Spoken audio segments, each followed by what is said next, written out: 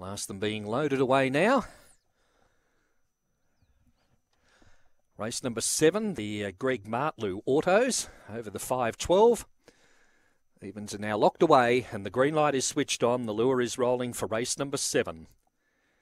Favourite in one. They're set. They're racing this time. Sweet Hostility jumped nicely. Joined early by Moraine Nelly as they head into that first bend. Parry Allen up to third. Into the back, Sweet Hostility. Moraine Nelly, it's outside. Two away then Parry Allen. Followed by running on Miss One Love. Further back then Zipping Dozer. Gap back then Miss Adelaide. Well back out of its ground then was just over. They swing off the back. Sweet Hostility out by four now on Moraine Nelly second. Followed by Parry Allen. But around the turn and Sweet Hostility as well. Clear and in no danger Sweet Hostility scores by five. Second placing, Zipping Dozer, Moraine Nelly third.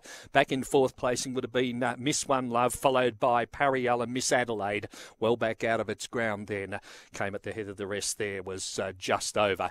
It was one of the last ones in there with Kate Bale. 29 and 97 the race time recorded. And the winner number one, Sweet Hostility.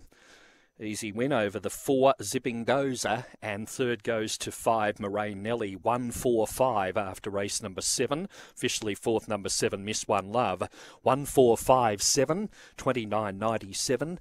Nice win to number one Sweet Hostility, owned by the